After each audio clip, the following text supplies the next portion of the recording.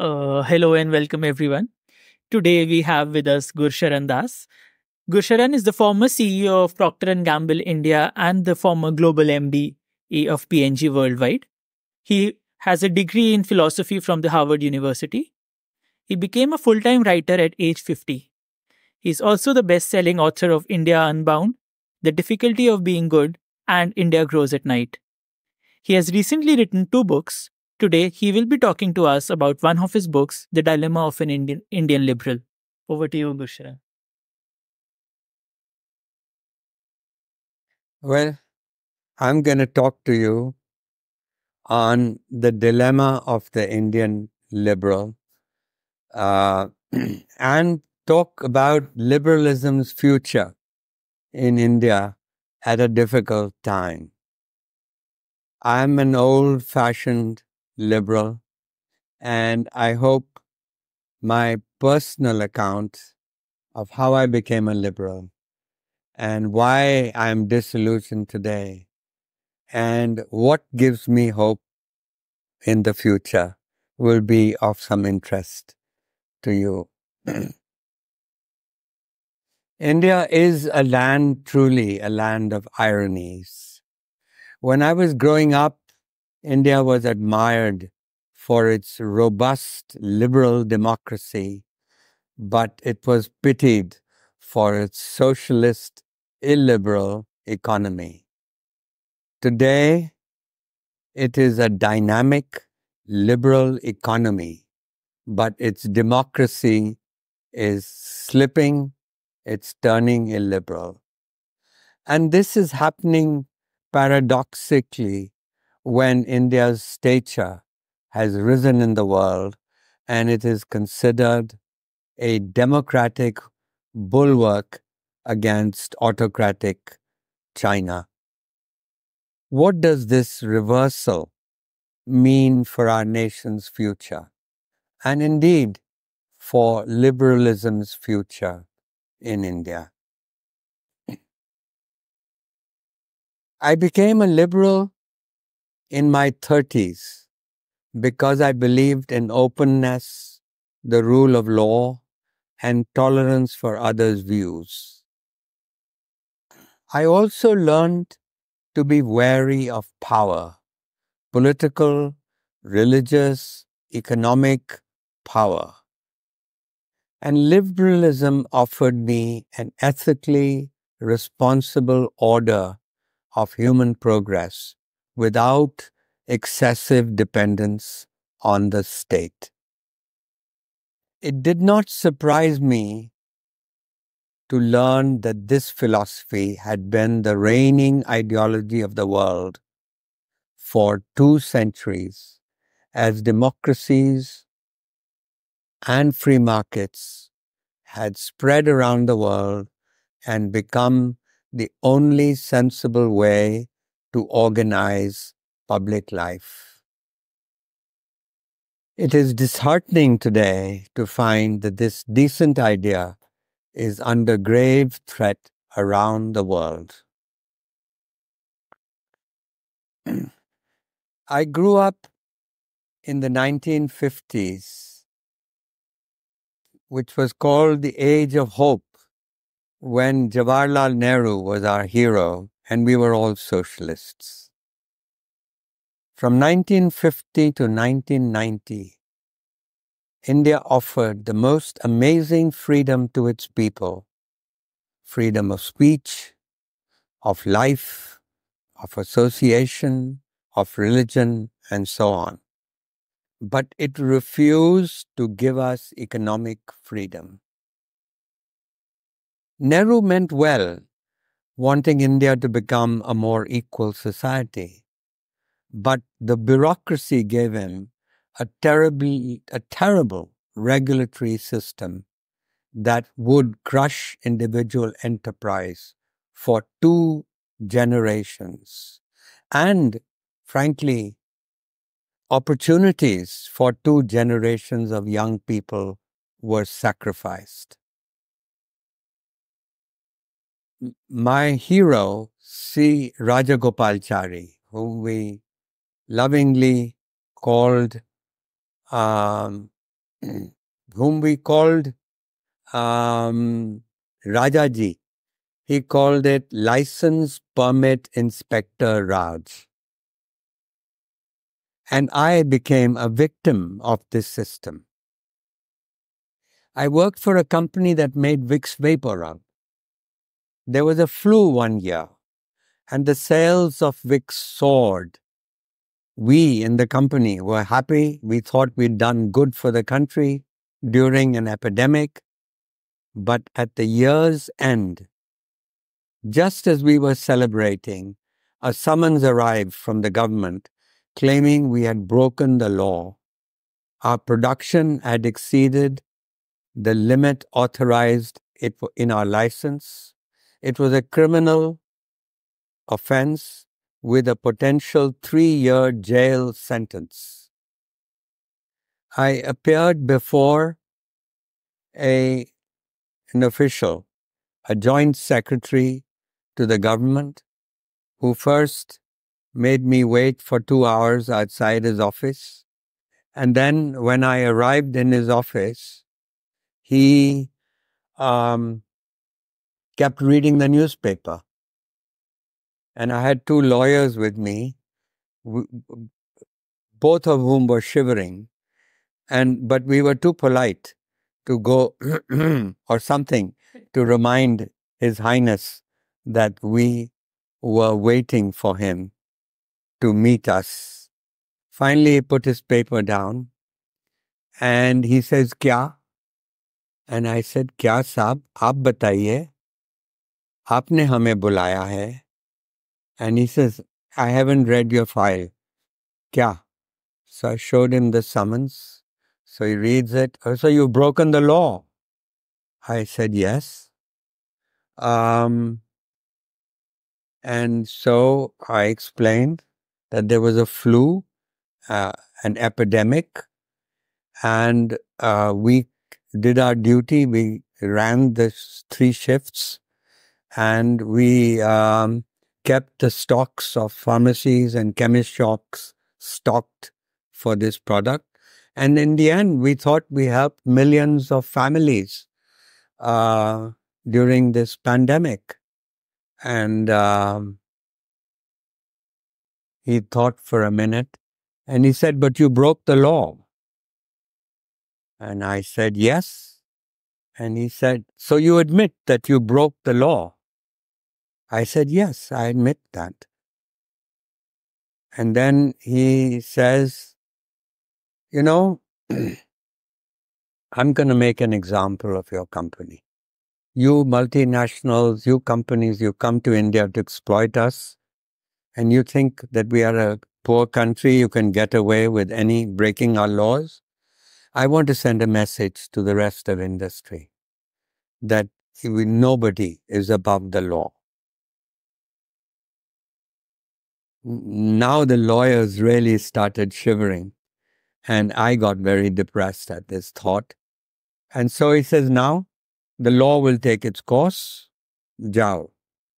So he threw us out of his office as I was leaving his office, I turned around and don't know what got into my head. And I said, Sir, uh, this news will go out in the world. We are an American multinational and it will appear in all the major newspapers. And what do you think the world will think of us as a country, of our laws, of our administrators, of our laws? when they read that here was a company that was doing good to its people during a health epidemic, and you sent the persons to jail for doing what they were doing. He said, Are you threatening me? I said, No, it'll get out. I don't have to leak it out. It's not every day that an executive of a company goes to jail, a multinational company goes to jail. Anyway, he threw us out. And uh, the lawyers got very angry with me when I came out. He, they said, for God's sakes, you should have uh, dropped to his knee, your knees and begged for mercy. Uh, and look at you threatening him like that. Anyway, Um, I had sleepless nights, but the government quietly, in its wisdom, dropped the inquiry. And, but I abandoned socialism that day and I joined the Swatantra Party and became a classical liberal, which I am to this date. now, I don't blame Nehru for this monstrous uh, system, actually, because, you know, he was a creature of his age. He didn't know. The only model India had at that time in the 50s was the Soviet Union. And so Mahalanobis, the, his planner, um, in the second five year plan, he basically put through this command economy that we had. And but I do blame Indira Gandhi because by the time she became prime minister, Japan had risen, Korea had risen, Taiwan was rising, and the global multilateral institutions were telling India to look at the success of these countries also. But instead of emulating their policies of exporting labor intensive manufactures, these policies which turned these countries into middle class societies. Indira Gandhi did the opposite. She tightened controls, and India lost two generations, as I said, of opportunities for, your, for our young people. And Indira Gandhi justified this in the name of the poor. Her slogan was Garibi Hatao, if you look at the statistics, the number of poor doubled in India between 1950 and 1980 at 82. Um, so it didn't do much for Garibi.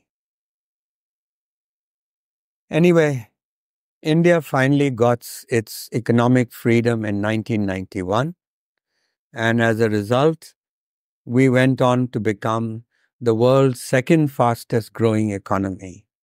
Over the next three decades, we grew at an average annual rate of almost 6% over the next 30 years, lifting 450 million people out of poverty, and where the middle class expanded from 10 to 30% of the population. So India had achieved the liberal dream. And just when everything seemed to be going well, now here we had achieved this dream of being a full blown democracy, a rapidly growing economy. What happens? Our democracy begins to weaken. And the past decade has seen the rise of identity politics, majoritarianism, Hindu nationalism, and Islamophobia. Critics are being silenced, and discourse on social media has become extremely polarized. The atmosphere of hate has damaged our cherished secular ideal of Sarva Dharma Sambhava, which is respect for all religions. Although there's been no communal riot on the scale of Gujarat 2002 or Delhi 1984, there have been many localized incidents of violence, especially amongst Muslims, especially against Muslims. Now, as, as we think about all this, I feel that liberals are also partly to blame. Liberalism remains an elite enterprise, and the rise of Hindu nationalism is partly a revolt against the English speaking elite.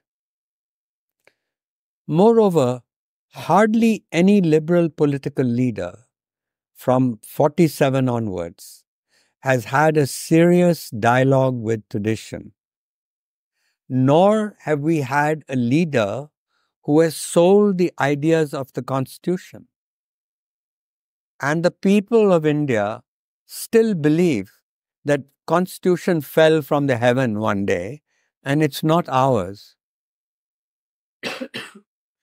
Gandhi ji, alas, died too soon. He had been able, he was the one man during the freedom struggle who had been able to translate the liberal ideas of freedom and equality into the civilizational language of Dharma.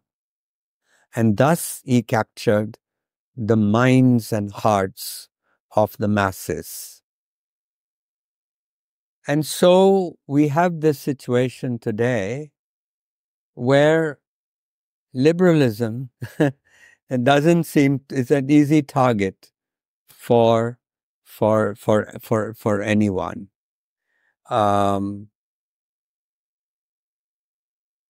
and and the, the you know the you just imagine if uh, today India um, just 15% of India is reasonably comfortable with English. And yet, today, almost all the serious business of the government, of the private sector, is done in English. And if a bright, young, intelligent Indian boy or girl walked in, even walked into this room, they'd feel deaf. Imagine feeling deaf in your own country after 75 years of independence. There is a bit of tragedy in that. And that is part of the anger that is responsible for where we are. Anyway,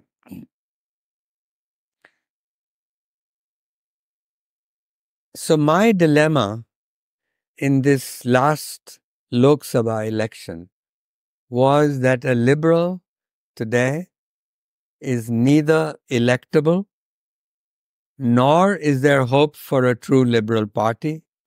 Alas, Swatantra Party died long ago. Worse, I had no one to vote for in this election.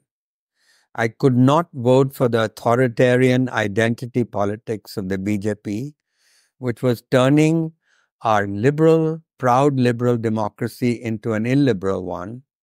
Nor could I vote for, vote for the Congress and the India Alliance because I do not trust for one minute its populist, statist economics ever ready to make a false trade off between growth and equity. India may have become a fast growing, maybe the fastest growing economy in the world today, but the truth is it has not created enough jobs. And why? Because it has failed to create an industrial revolution. Manufacturing is only 15% of GDP. It employs less than 11% of the people and manufacturing exports are less than 2% of world exports. So, how else will 45% of our workers in India who are stuck in agriculture hope to get more productive, better jobs? This will require tough reforms. And frankly, I trust the BJP far more and the opposition alliance far less to execute this reform. I trust them far more than the opposition. And that is really the dilemma of the Indian liberal. But there's, there's some good news. The results of this election give one hope. It vindicates a belief of political scientists who were actually my teachers uh, when I was at Harvard, Lloyd and Susanne Rudolph, who in the 1980s observed in India an interesting trend. They called it persistent centrism. And they called it a striking feature of India's politics. And the reason for it is that our social pluralism draws a limit against extreme ideologies and forces the center towards the center, uh, neutralizes these extremities to persist, to sort of push them towards the center. And this partly happened in this election, that every state had its local reason for letting the BJP down, except for a few states. It had a different reason. But there was uh, observers, especially uh, studies like the CSDS survey, uh, showed that there was an undercurrent of anxiety across the country and was about jobs. now, the jobs thing, our employment numbers don't show it because uh, the employment numbers in India is problem is not unemployment, problem is underemployment, and and and the, our surveys, uh, labor's data reflects only people who are not working. But what, what do people do when they can't get jobs they like? They, they have to work. They have to do something in the bazaar, become pakora walas, or they go and work on the farm. Anyway, so we have to do that. Uh, we have to create an industrial revolution. We have to create jobs. And what the Rudolph said was that our social pluralism draws a limit against extreme ideologies, and this explains this result of this election. Moreover, the, the good news from uh, the perspective of democracy is that we are an argumentative lot. We are a disobedient people Amartya Sen pointed this out many years ago, and this results in an open, liberal temper. Besides, in a land of 330 million gods, no god can afford to feel jealous. The seed for skepticism has actually sowed in the Rig Veda in the 10th chapter of the Rig Veda, in the famous Nasadiya verse, where they are asking the question, how was the universe created? How was the cosmos created? And so one side says, well, it was dark, there was no being, and uh, how can we know? Maybe we should ask the gods. But hang on. The other side says the gods came afterwards. How do they know? Oh, then let's ask the Brahmins. Oh, but the Brahmins are always arguing with each other. So we'll just get confused. And then they go back and forth like this. And finally, the Rig Veda concludes that maybe we don't know. Imagine the oldest, the most sacred Veda concluding that we don't know. So the skept- temper of skepticism, the seed of skepticism, was sowed in 1500 BC. Anyway, this temper was nourished in the Upanishads, which were mental experiments they used this method, neti neti method of arguing and questioning. It existed in the epistemological debates on pramana among the competing schools of philosophy during the early years of the millennium going into the Gupta age. And philosophers of all sects and, and also Buddhism and Jainism, they concluded that the only source of true knowledge is non transcendental. It is perception and inference. Anyway, all these reasons make me optimistic about liberalism's future in India. And also, frankly, history tends to be cyclical. If we give up on liberalism, our children will return to it. Besides, liberalism is too decent an idea. It is still the most sensible way to organize public life, and it won't be kept down for too long. Thank you. Thank you.